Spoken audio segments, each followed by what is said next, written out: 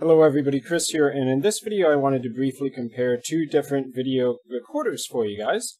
One of which is OBS, or Open Broadcaster Software, a free open source alternative.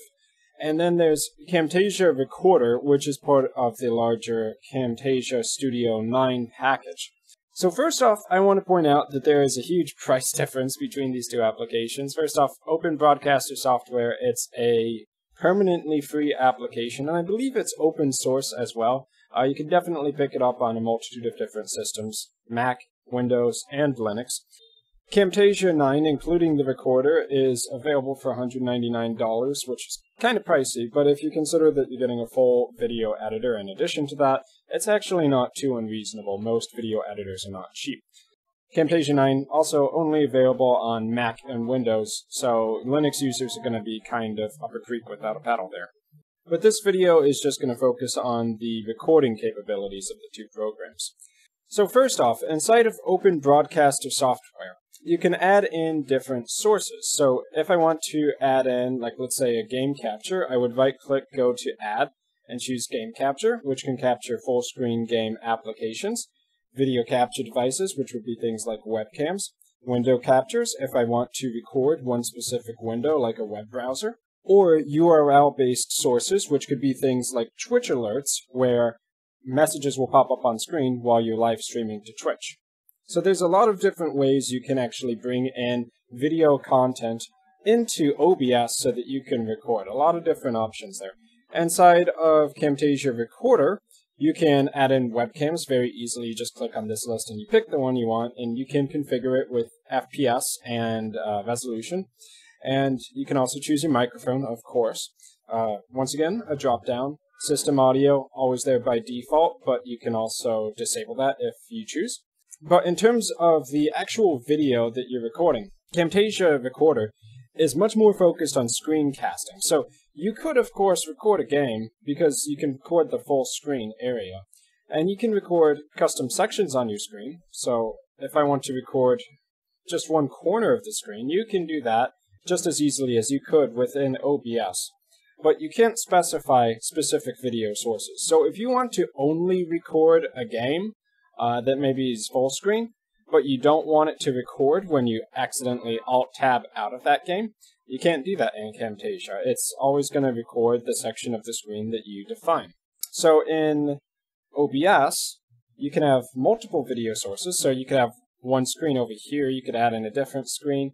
Uh, you could have, once again have the game capture where it only picks up a full screen game or a game of your uh, basically designation. So if you're playing Hearthstone, you could just go in here, type in Hearthstone, and as long as Hearthstone's currently open, you can specify a specific window. So that could be Hearthstone right here from the drop-down list. Another really big advantage of OBS is that OBS does actually support live streaming. So we could go into settings here. You can stream to Twitch, also YouTube, and several other services that are out there. I would definitely say, in terms of the number of settings and hotkeys and advanced tools that you have available, OBS also gives you more options, though I could see that being a little bit confusing for the typical user as well. Okay, so let's now talk about some of the advantages of Camtasia Recorder. First off, you can add in system stamps and captions very easily. The captions do have to be manually added in, so if you have a script loaded up, you can add that into your video.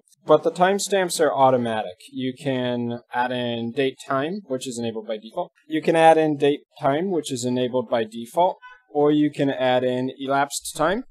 Um, basically, regardless of what you choose, you can customize how you want that to show down here in the preview area and you would do that using the time date format section. Now when you're recording in Camtasia, you do have a pretty nice countdown effect, so it's going to show you 3, 2, 1, and then it's going to start recording. If you had a full screen recording here, you wouldn't see these uh, basically corners of the window. Note that while it's actually recording, you can drag this around, so if you need to focus on a different corner of your screen, you could do that, or you can move it over to a different monitor. But what I really like about Camtasia Recorder is if you hit Control Shift D, it's going to pop open the screen draw tool. So if you ever wanted to be able to draw on the screen while you were talking, Camtasia actually has this out of the box, whereas OBS doesn't. So you can select one of these tools, customize them, start doing things like drawing circles. Uh, also, there's hotkeys for it, so if I wanted 8 thickness, I just hit 8 on the keyboard, 1 to make it less thick. You can hit F to change it to a square frame, E to change it back to an ellipse. And whenever you're done with that screen draw session, you can just hit Control Shift D again, or click on this button over here. Um, now, this basically panel is optional whether you want it to be on screen while you're recording. You can always minimize it and pretty much everything that you want to do, you can do just with hotkeys. So you don't actually have to have that panel up at all. So in conclusion, when it comes to OBS versus Camtasia Recorder 9, I feel that in general they're more specified at different areas.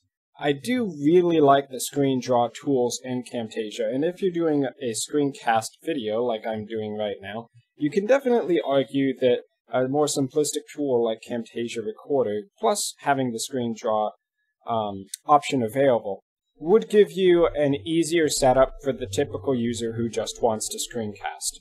But if recording games or having complicated setups is your thing, where you might have in three, four, five different video sources in your one recording, for instance, if you have overlays, if you need to add in Twitch alerts, or anything else of that nature, and especially if you're going to be live streaming, then Open Broadcaster software would be the way to go. So in terms of price, the full Camtasia Studio package that comes with the video editor and the screen recorder is $200, or more specifically $199 for the personal copies. So that in itself can be a break it deal for many people. But Camtasia 9 does have a 30 day free trial, so there's really no harm in giving it a shot and seeing if you like it still. So, lastly, I do want to point out that if you do go the open broadcaster software route and you need a video editor, you could try DaVinci Resolve 14 as a free alternative. It's what I'm typically using these days, and I find it really solid. Uh, their main version is completely free. The upgrade only gets you some of the extra features, but you can definitely do full featured videos using the base version of DaVinci Resolve. So I've been Chris, and I hope in this video I've given you enough of a comparison there to make a choice on what you should go with. I definitely recommend trying both apps uh, out before you really dedicate yourself to one. OBS, of course, is free, and there is a 30-day no credit card trial available for Camtasia Studio 9. So there's really no harm there. I've been Chris, thanks for watching, and I will see you guys in my future video content.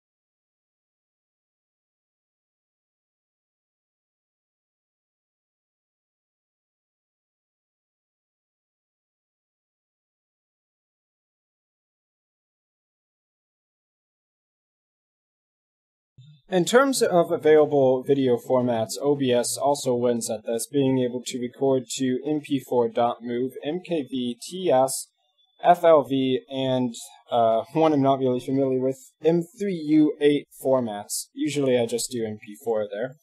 Whereas in Camtasia Recorder, you can only do .trec and .avi.